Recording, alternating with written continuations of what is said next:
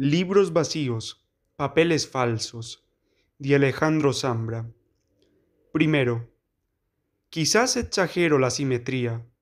Son dos mujeres, mexicanas ambas, autora cada una de dos libros. ¿Y acaso los títulos conforman una suma o una resta? Si sumamos o restamos el libro vacío y los años falsos, tal vez da papeles falsos pero qué distintas son, en otro sentido, sus trayectorias. Josefina Vincens publicó muy poco y tardíamente. Su primer libro apareció en 1958, cuando ella tenía 47 años, y el segundo en 1982, a los 71. Mientras que Valeria Luiseyid ni siquiera ha cumplido 30 y ya publicó papeles falsos, y los ingrávidos. Yo solo digo que entre estas narradoras hay un aire de familia, y que no creo que se trate de un hecho aislado, porque Josefina Vicens figura en el árbol genealógico de varios escritores latinoamericanos. Por lo demás, estos nuevos padres o abuelos, orilleros todos, de un modo u otro, del Boom, Julio Ramón Ribeiro, Mario Lebrero, Clarice Lispector, Héctor Libertellat, Enrique Litz, por nombrar algunos. No se preocuparon demasiado por la descendencia y quizás por eso nunca fueron lecturas obligadas. Quienes se acercan a ellos lo hacen, lo hacemos, por verdadera afinidad y no para hacer cuentas con el canon. Segundo, tal es el caso de Josefina Vicens, una autora todavía semisecreta, sobre todo fuera de México. En una de las pocas entrevistas que concedió, cuenta que alguna vez Juan Rulfo le preguntó por qué tardaba tanto en publicar otra novela, y la broma tenía sentido, pues finalmente la obra de Vicens fue incluso más breve que la de Rulfo. La edición que en 1987 hizo el Fondo de Cultura Económica cabía hasta en el bolsillo de la camisa. Josefina Vicens tardó ocho años en escribir El libro vacío, que pone en escena justamente el proceso de un narrador, un hombre. En sus dos novelas la autora opta por voces masculinas, que lucha contra la famosa página en blanco. Esto que ves aquí, este cuaderno lleno de palabras y borrones, no es más que el nulo resultado de una desesperante tiranía que viene no sé de dónde, anota el narrador y remata con estas frases agrias de obligada e inútil autocompasión. Todo esto y todo lo que iré escribiendo es sólo para decir nada, y el resultado será, en último caso, muchas páginas llenas y un libro vacío. Parece la pesadilla de un diletante, pero a no le interesaban las aventuras de taller literario. Al contrario, lo que siente el personaje es el deseo lúcido de conseguir una obra que merezca existir, a pesar de la palabrería generalizada. Escritor es el que distribuye silencios y vacíos, dice por su parte Valeria Luisegid en papeles falsos, y en los ingrávidos la imagen se concreta más, se vuelve infinitiva generar una estructura llena de huecos para que siempre sea posible llegar a la página, habitarla. Nunca meter más de la cuenta, nunca estofar, nunca mueblar ni adornar, abrir puertas, ventanas, abrir muros y tirarlos. La originalidad de papeles falsos, por supuesto, no está en los temas que aborda, sino en el modo de tratarlos. Y aquí también vale otro cliché. Como siempre sucede con los sujetos que viven intensamente la literatura, parece que los temas eligieron a Valeria Luisegid, que ella los encontrara de paso, como si de tanto pensar en algunas imágenes accediera, naturalmente, a un desarrollo, a una trama inminente. También es admirable la manera como baraja estos temas. El libro le debe su, por decirlo de algún modo, integridad a un cuidado proceso de montaje. Los numerosos títulos y subtítulos nunca llegan a molestar. Son discretas señales de ruta que, en lugar de interrumpir la lectura, la acompañan. 3. Papeles falsos no prefigura una novela como Los ingrávidos, y sin embargo, después de leer ambas obras, persiste una coherencia y hasta parece, exagerando, que la novela fuera la versión ficcional del libro de ensayos. Hay una diferencia importante de grado, en todo caso. La ironía, por ejemplo, en la novela sigue siendo fina, pero aumenta vertiginosamente. La misma voz que en los ensayos susurra y escribe como para leerse a sí misma. En la novela se abre camino a través de una o de varias máscaras. La protagonista de Los Ingrávidos es una mujer joven que vive con su marido y sus dos hijos en una casa grande y vieja del DF. A veces se corta la luz, o se va el agua, o se tapa el baño. A veces un fantasma se pasea por las habitaciones y tira las torres de libros.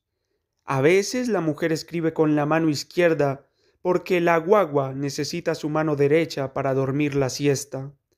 Pero escribe más bien de noche, como ella dice hermosamente, una novela silenciosa, para no despertar a los niños. Las novelas son de largo aliento, apunta la narradora, más adelante. Eso quieren los novelistas. Nadie sabe exactamente lo que significa, pero todos dicen largo aliento. Yo tengo una bebé y un niño mediano. No me dejan respirar. Todo lo que escribo es tiene que ser de corto aliento. Poco aire. Lo del niño mediano es un chiste. Es el hermano mayor, pero como todavía no es grande, prefiere que lo llamen el niño mediano. Y el mediano también interrumpe a su madre con sus innumerables hallazgos y preguntas, algunas verdaderamente difíciles de responder. ¿Por qué los animales no pueden salir del zoológico, ni tú de la casa, mamá? También le interrumpe el marido. De vez en cuando lee lo que ella escribe y se siente retratado. O bien rebusca en la ficción algún posible desmán en el pasado de su mujer, porque ella escribe sobre sus días de libertad en Nueva York, cuando usaba minifaldas y pasaba el tiempo leyendo poemas y pernotando con amigos locos y raros, unos años de paseos de búsquedas medio ociosas y fundamentales. Pero no se crea que Los Ingrávidos es una mera novela de añoranzas o que su objetivo es denunciar el marasmo de la vida adulta o algo parecido.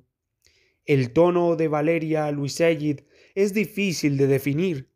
En este libro hay mucho humor y una distancia exquisita que aumenta o decrece sin que sepamos preverlo.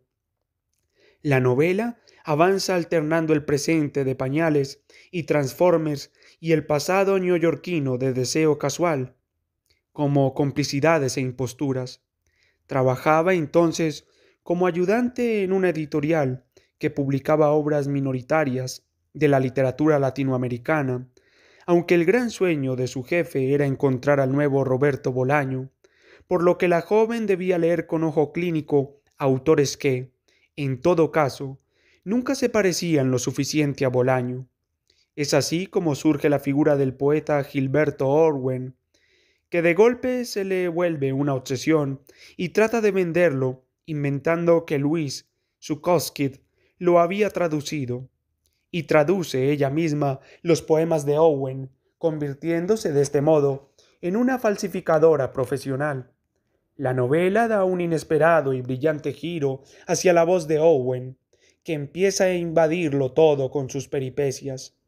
De pronto es más bien Owen quien cuenta o imagina la historia de la narradora y de paso acaba convenciéndonos de que somos fantasmas vagando por las estaciones de metro, fantasmas que no asustan a nadie. 4. También Luis Alfonso, el protagonista de los años falsos, es un impostor, pero el signo en este caso es muy otro. Todos hemos venido a verme, dice Luis Alfonso al comienzo del relato, y hay dolor en esa frase, dolor e ironía. Tiene 19 años, pero la muerte de su padre lo ha convertido en un viejo, en un tipo lamentable que replica, con fidelidad y cobardía, una vieja vida. Gracias a los amigotes del finado, Luis Alfonso hereda el trabajo de su padre como asesor de un político que a poco andar se convierte en su secretario y que llegará tan alto como suelen llegar los que obedecen a los jefes y gritonean a los subordinados. Luis Alfonso se llama igual que su padre y todo el mundo dice que el parecido físico es asombroso. Lo que no saben es que el hijo ensaya ante el espejo hasta los gestos de su padre pues la repugnancia y la admiración se confunden a tal punto que ya no quiere vivir por sí mismo.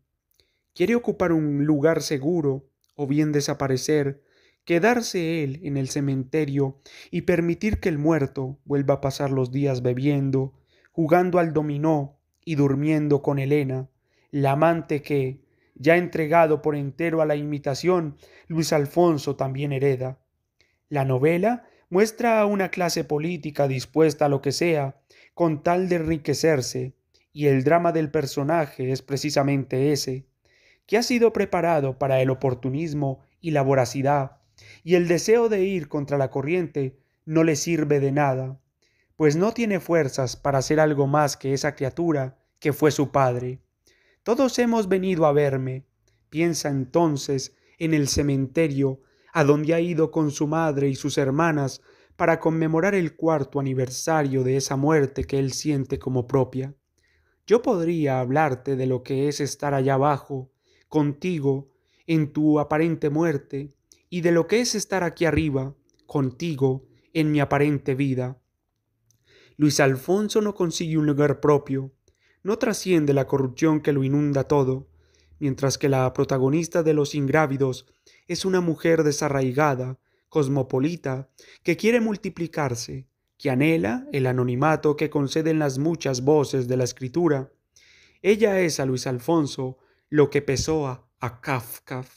Quinto, en el libro vacío, el protagonista lucha contra la palabrería o contra la tradición, y los años falsos escenifica el problema de la herencia y la derrota de los hijos.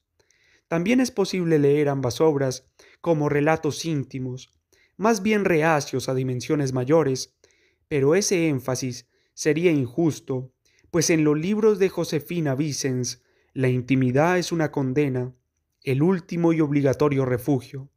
Los personajes quieren integrarse al mundo, pero el único modo que tienen de hacerlo es reconociendo su soledad radical.